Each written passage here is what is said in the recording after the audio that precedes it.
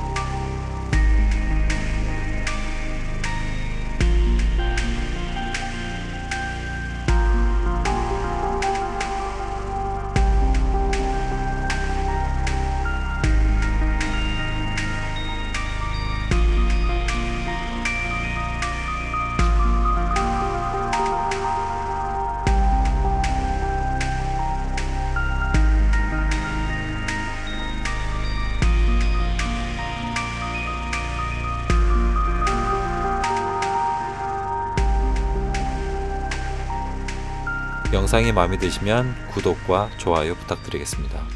고맙습니다.